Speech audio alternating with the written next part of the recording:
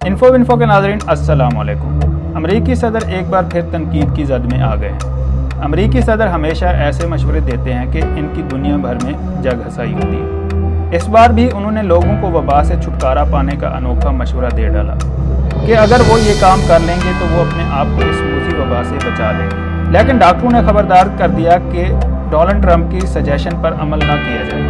नए आने वाले दोस्त चैनल को सब्सक्राइब कर लें और घंटी के निशान को ज़रूर दबाएँ। वीडियो को व्हाट्सएप और फेसबुक पर ज़रूर शेयर करें। अमेरिका की मुख्तलिफ़ रियासतों से लॉकडाउन के खात्मे की हिमायत करने वाले डोनाल्ड ट्रंप ने कहा है कि धूप और जरासीम कोश इंजेक्शन से वबा से निजात में मदद मिलेगी। इससे कबल होने वाली रिसर्च में गर्मी और बहार के मौसम में दर्जा हरारत और नमी में इजाफे से वबा के फैलाव को रोकने में मदद के इम्कान सामने नहीं आए। अमरीकी होमलैंड सिक्योरिटी के विलियम ब्राइन का कहना था कि नए रिसर्च के नतज सामने आ रहे हैं। जिसमें सूरज की रोशनी वबा को ख़त्म करने में मज़बूत असरा छोड़ती है। साइंसदानों का ख्याल है कि इसी तरह के असरा दर्ज हरारत और नमी में भी हैं। ब्राइन ने कहा कि मैरीलैंड में एक लेबॉर्ट्री फरवरी से वबा पर टेस्ट कर रही है। अमरीकी अहदेदार का कहना था कि दर्ज, हरारत और नमी के इजाफे से वबा के जरासीम तेज़ी से मर जाते हैं। इससे कबल अमरीकी सदर ने कहा था कि लोगों को ये समझाना मुश्किल होता है कि बाहर धूप में जाएँगे तो महफूज होंगे।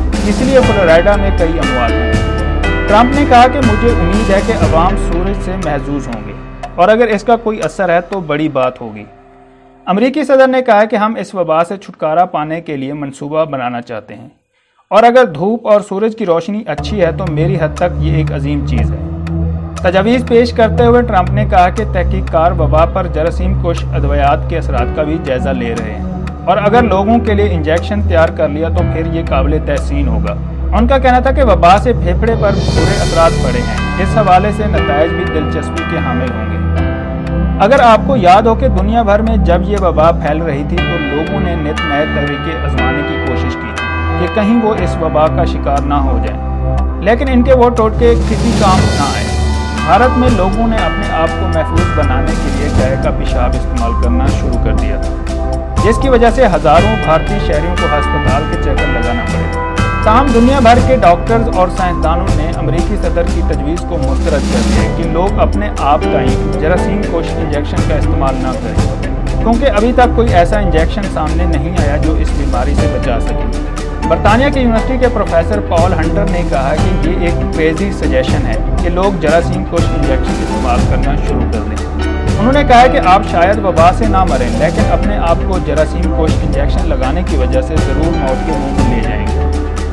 दूसरी जानब, अमरीकी महकमा खारजा के secretary of state Mike Pompeo ने भारत में मुसलमानों पर होने वाली नाइंसाफ़ी पर बात करते हुए कहा कि वबा को मुसलमानों के साथ नहीं जोड़ना चाहिए। ख्याल है कि भारत में मोदी सरकार के गुंडे मुसलमानों के पीछे पड़ गए और मौजूदा वबा को मुसलमानों से जोड़ गए और मुसलमानों को कारोबार तक नहीं करने दिया जा रहा। और भारत भर में लोग मुसलमानों से सौदा सल्फ भी लेने से गुरेज कर रहे हैं। अमरीकी महकमा खारजा के सेक्रेटरी ऑफ़ स्टेट ने कहा कि हम तमाम हुकूमतों और कम्युनिटीज़ पर ज़ोर देते हैं कि इस वक्त को खिदमत और इतिहाद पर तवज्जो देने और मौजूदा बहरान को रोकने के लिए जारी लड़ाई में कमज़ोरों और पसमानदा तबके के अफराद की सेहत और तहफ़ को मद्देनज़र रखने के लिए इस्तेमाल करें। उधर भारत की अपोजिशन जमात कांग्रेस की सदर सोनिया गांधी ने भी मोदी को खरी खरी सुना दी।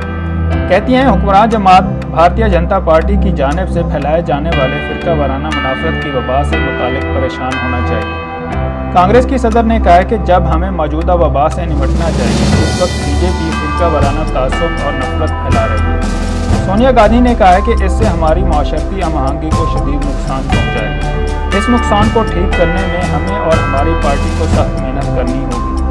उन्होंने कहा कि वज़ीर अजम नरेंद्र मोदी को कई मरतबा तमीरी तावन की पेशकश की थी और मुख्तलिफ़ खतूत पर मेहनत कशों की मुश्किल दूर करने की तजवीज़ भी दी थी। सोनिया गांधी ने कहा कि बदकिस्मती से इन तजावीज़ पर सिर्फ़ जजवी तौर पर अमल किया गया।